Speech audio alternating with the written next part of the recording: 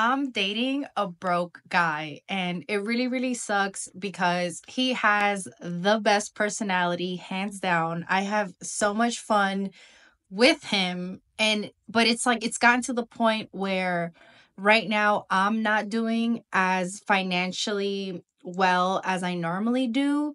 So in the past, like we have taken trips, but I've paid for the trips, I've paid for the hotel, I've paid for the rental of the car. If we've been to concerts, I've paid for the tickets. He does what he can when he can, but he doesn't do enough. Well, what it sounds like to me is that you want to do all these things and he could be like you know what? I can't afford that. We can't afford that right now. Let's just not do that. And you might be the type of person that is just insistent on doing those things saying oh i just want to go anyway. I'll figure it out later. It doesn't matter if i have debt. Because a lot of women have debt. Uh, mostly let's see what about 70% of the debt that is uh owed in the united states is owned by women so that means that women spend money hand over fist, even when they're in debt. Women tend to do a lot of things and then think about the ramifications after the fact. So it could just be a case that this guy's a little bit more frugal and he's like, I don't want to do that. And she's just insisting on it. She pays for it and then she complains about paying for it. You know what I'm saying? But he does what he can when he can. But it's gotten to the point where it definitely sucks because I'm not doing as well financially. I can't afford to do things for two people. I can't even afford to do things just myself right now. So, because I can't afford to do things for two, we actually don't do anything. We haven't done anything. Like, if I'm being for real, for honest, like in September for my birthday month. Oh, here we go the birthday month. Your birthday is one day, not a whole a whole month. So you want somebody that you're with to celebrate your birthday a whole month and do things a whole month. And again, all these things that you want to do cost money. Did he does celebrate me around those times though? He does celebrate me around the holidays. He does celebrate me around my birthday. But yeah, it's been October, November, December, January. So for the past four months, me and him, we just been like sitting ducks. And yeah, it just it sucks. Like it's crazy because I don't think like I feel like females come on online and talk about like look what he bought me, look what he got me, look at where he took me. so you're just you're envious of the women that are doing that, doing that. But I want to ask you and all the ladies that are watching this video how do you even know that what you're seeing is the truth? How do you know those ladies are not lying to you? How do you know those ladies are not fronting? How do you know that ring on her finger is actually a ring that someone else bought for her? How do you know she even has a husband? How do you know that she's doing all these things that she's telling you? You don't. You just believe anything you want to believe because you're in competition. You see? You are envious. You want to do what you see other women do. And this is what causes a lot of women to get in trouble because there's a lot of women out there that get up there and, and they show this facade on social media.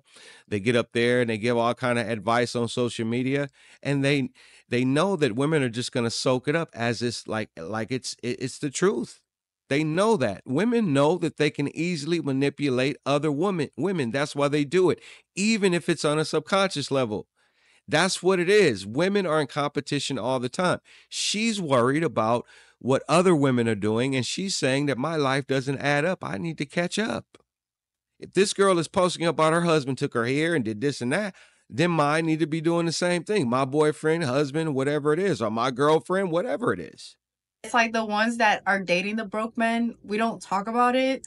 But it's like, no, I mean, I don't know. There has to be like a conversation about it. And it really sucks because I feel like it's kind of getting to the point where if I'm not the breadwinner or if I'm not if I don't somehow make my life lead me up to making income for two, I don't think that I'm to be able to be with this person. And it just really sucks because it's he, like I said, he has like the best personality hands down. So I'm on here to ask, what do I do? And don't be too cold. Like, don't be too rude. You know what I'm saying? Because I had my narcissist ex boyfriend who made way more money than I did.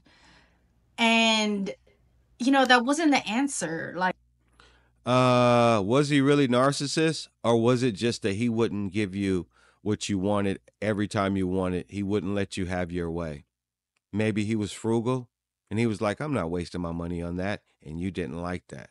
So you went with the nice guy that would probably let you get away with everything that you're doing. Because I tell you this, as a man, if a man is sitting there letting a woman take care of him, pay his bills, do all this stuff, put food in his his his mouth, take care of all the things he should be doing for himself, then he has a lot of work to do. That's not somebody that you should uh you should even be trying to entertain to be in a relationship with. But a lot of women will pick these men because these men will let them have their own way. So it's like, where is the common ground? Like, and obviously, I do have a little bit of fear. Like, if I stay with him during this whole time and I continue to help out, is he gonna just walk away when he does better? Why are you living in a world of uh, fear? Why are you thinking about what if? See, that what if thinking process that a lot of ladies have causes them to have a lot of um, problems in their relationships because they can't keep that to themselves. That what if comes out in a lot of conversations, a lot of actions. So she might not be saying, What if this happens? Will you leave me? But her actions and her attitude will, will reflect that thought process. So then she starts acting in a different way. He's defensive and he's like, What's up with that? and all of that. And the whole time, what does she say? There's nothing wrong. Just asking. You see what I mean? You cannot live in a life of uh of fear like that. Maybe she's fearful because if the guy uh, gets a lot of money or gets more money, gets you know more established, and he's going to realize that he doesn't want to be with her, and that she's not really what he thought she was. See, that's part of it too. Or maybe he'll find someone else. Maybe someone else would be more valuable to him than she is. There's a lot of things that she's not saying here. It, it's just ah, it's so scary. It's so crazy because it's like I really, really like him, and I really, really, really like don't want to like not be with him, but at the same time too, like I'm too effing old to do this shit. Like I've already spun around this block a few times. Like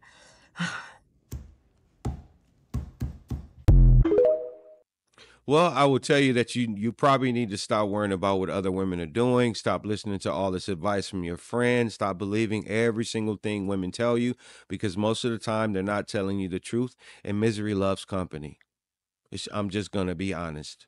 You know what I'm saying? So you have to, if you love this guy, he's not doing enough, you don't think he's doing enough, talk to him about that, try to work on that. And then if you don't get what you need and he doesn't get what, you know, he needs from you, then, you know, you guys just have to act accordingly. But you can't base everything on uh money, you know, being able to do this. If you're surviving, you're doing fine. And you don't always have to be doing something, but one of the reasons why you always want to have to want to be doing something is because you're watching other women watching other women on social media, listening to what they're saying and telling you that they're always doing something because you need to be in competition with that.